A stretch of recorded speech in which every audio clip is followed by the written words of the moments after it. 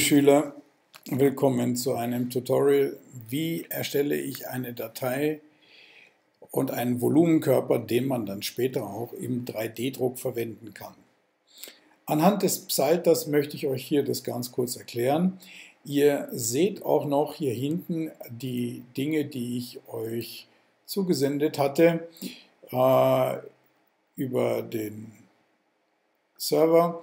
Und zwar wenn wir diese Stücke jetzt hier einbauen möchten, klicke ich sie einfach an, alle.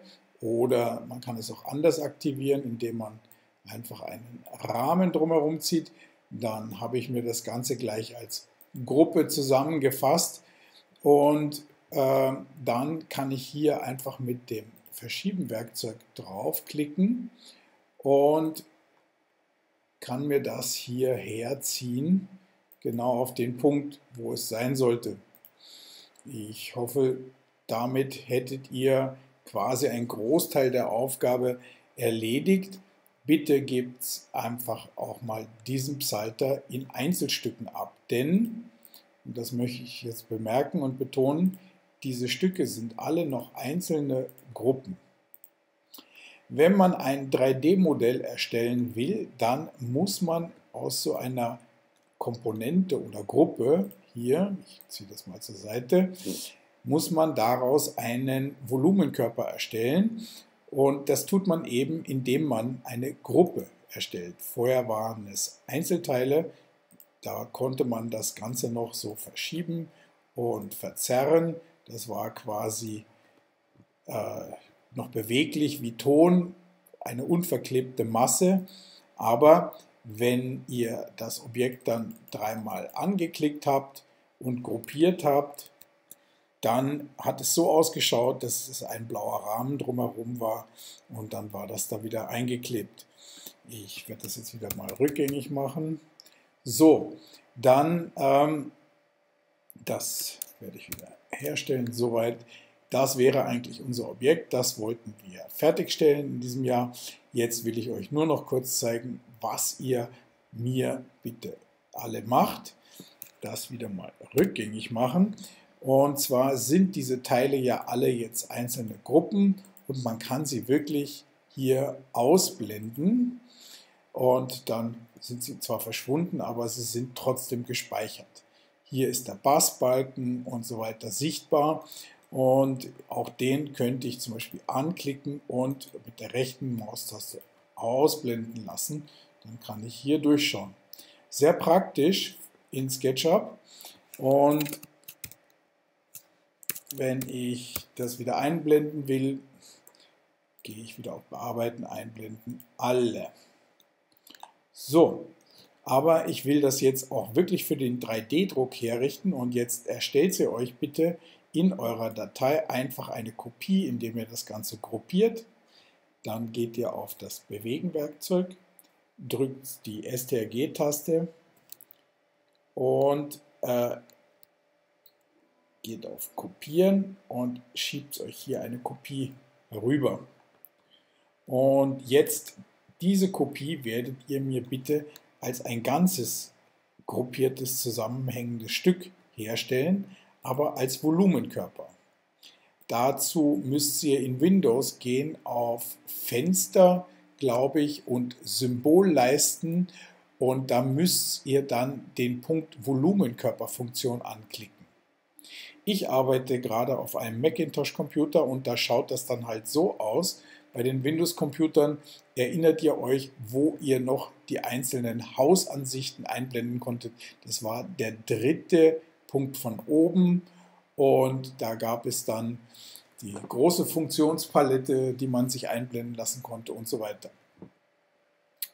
Wenn ihr diese Volumenkörperfunktionen, die so ausschauen wie hier, euch eingeblendet habt, da gibt es so Körper und wenn man sich da drauf steht, dann steht da da äußere Schale und äh, das bedeutet hier in dem Fall zum Beispiel, dass ich dieses Objekt nehmen kann und mit diesem verkleben kann. Ich hatte euch schon den Unterschied erklärt.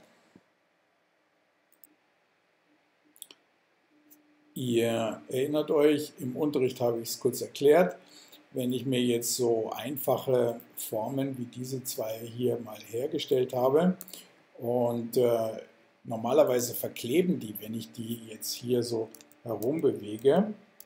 Ja, das will ich ja oft nicht, weil sie ja nicht gruppiert sind. Wenn ich sie aber gruppiere, dann sind es feste Formen, Flächen, die miteinander verklebt worden sind, die eine Außenhaut haben.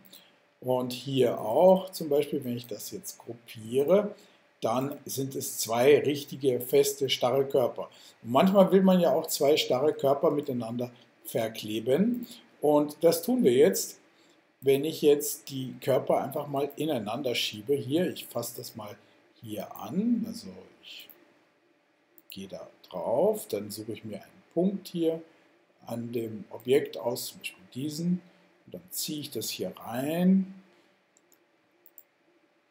und ziehe mir das vielleicht hier so hin, vielleicht auch ein bisschen weiter runter, so, so sowas. Ja, ganz egal wie. Und wenn ich mir das dann so anschaue, mal im, im Röntgenblick, dann schaut das so aus. Dann sind das zwei getrennte Körper, aber die sind noch nicht miteinander verbunden.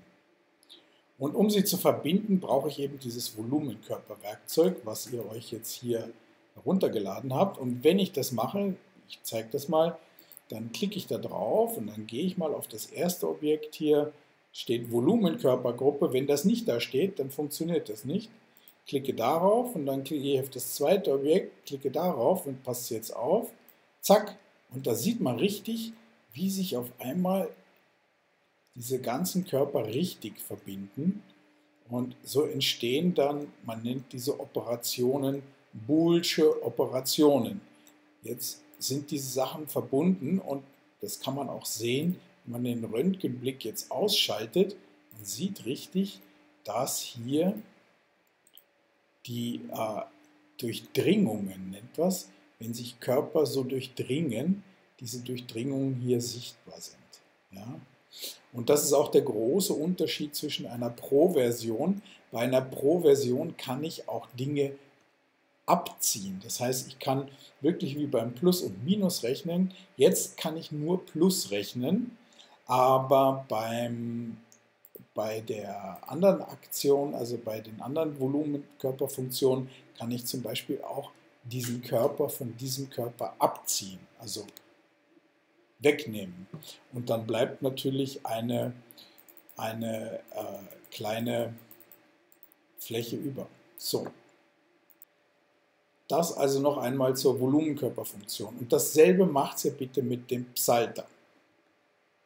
Und zwar, ihr geht auf euren Psalter, ihr habt jetzt diese einzelnen Gruppen, dann klickt ihr sie an und dann verbindet ihr diese Stücke einfach alle miteinander. Zack und zack und zack. Und nachher ist das Ganze ein einziges Objekt, die Rückseite nicht vergessen und immer wieder mal schauen, wo man ist. So, und vielleicht noch diese. Jetzt sind alle miteinander verbunden. Hier in diesem Stück, während sie hier noch alle Einzelteile sind. Ja, da ist alles jetzt ein Objekt.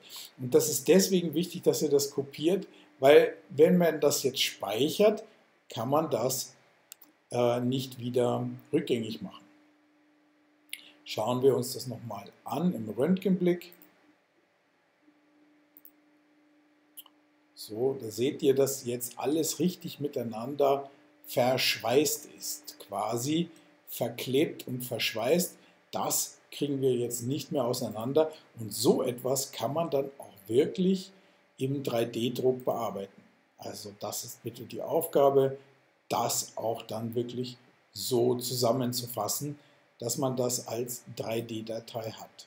Speichert es bitte einfach als Datei ab und gebt es mir ab.